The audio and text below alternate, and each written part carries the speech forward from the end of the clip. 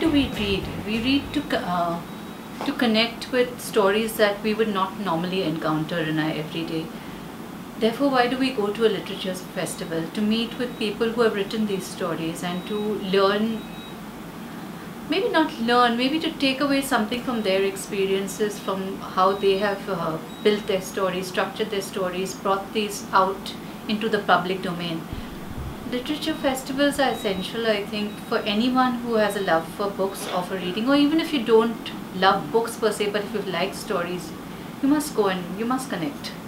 That's the main reason for literature festivals to spread the word. I think people are not reading enough, and literature festivals are doing their bit to get the love for books out there.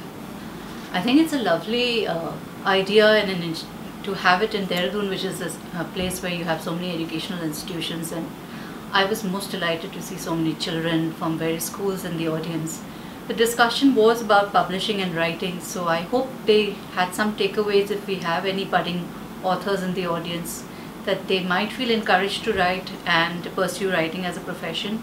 Though it's not a very paying profession, I must admit, uh, but for the love of it.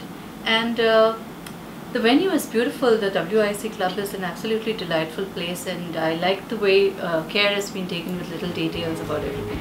It's been a most wonderful experience.